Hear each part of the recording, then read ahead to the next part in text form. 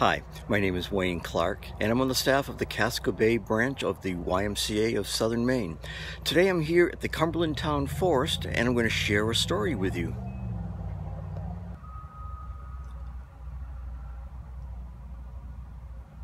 And here we are at the entrance to the town forest. This is the entrance to the story walk that we're going to be taking, and it's just going to be right over this way. And, and walk to the first kiosk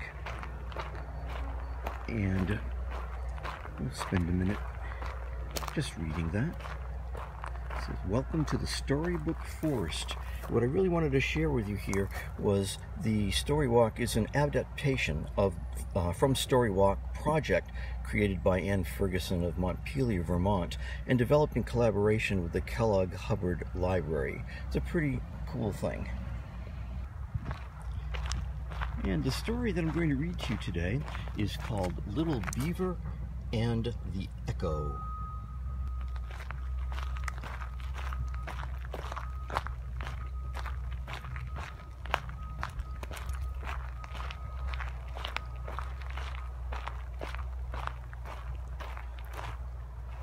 Little Beaver and the Echo, written by Amy MacDonald and illustrated by Sarah Fox Davies.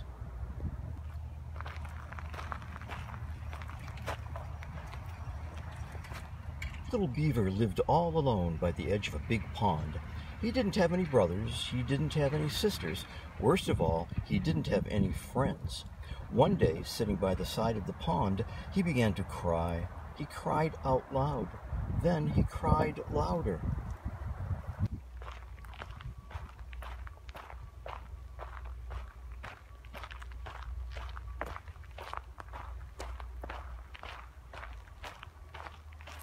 Suddenly, he heard something very strange. On the other side of the pond, someone else was crying too. Little Beaver stopped crying and listened. The other crying stopped. Little Beaver was alone again. Boo-hoo, he said. Boo-hoo, said the voice from the uh, from across the pond. Ha ha wah, said Little Beaver. Ha ha wah, said the voice from across the pond.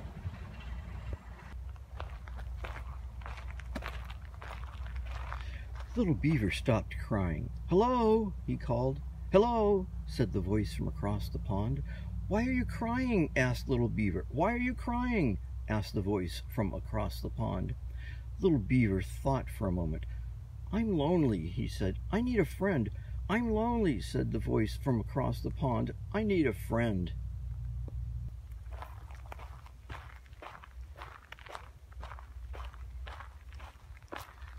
Little Beaver couldn't believe it. On the other side of the pond lived somebody else who was sad and needed a friend. He got right into his boat and set off to find him.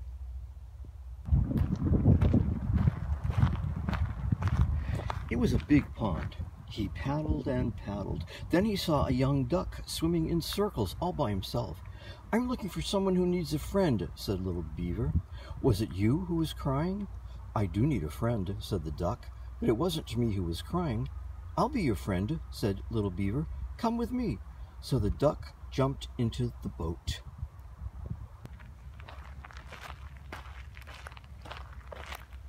They paddled and paddled. Then they saw a young otter sliding up and down the bank all by himself. We're looking for someone who needs a friend, said Little Beaver. Was it you who was crying? I do need a friend, said the otter, but it wasn't me who was crying. We'll be your friends, said Little Beaver and the duck. Come with us. So the otter jumped in the boat.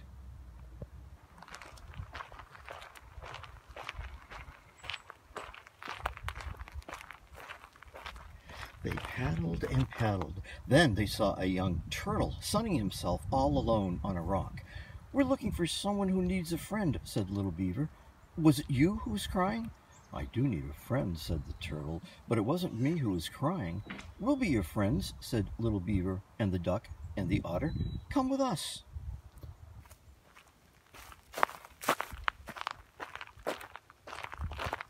So the turtle jumped into the boat, and they paddled and paddled until they came to the end of the pond.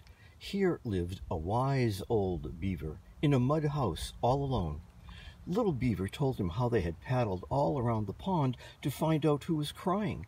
It wasn't the duck, he said. It wasn't the otter, and it wasn't the turtle. Who was it?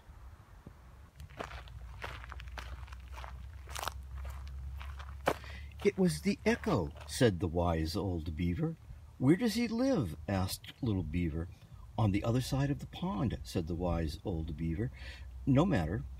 Where you are, the echo is always across the pond from you. Why is he crying? said little beaver. When you're sad, the echo is sad, said the wise old beaver. When you are happy, the echo is happy too.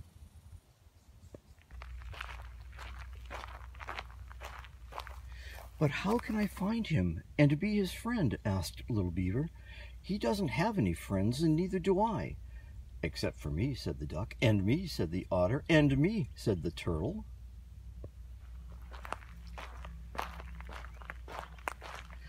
Little Beaver looked surprised. Yes, he said, I have lots of friends now. And he was so happy that he said it again, very loudly. I have lots of friends now. From across the pond, a voice answered him, I have lots of friends now.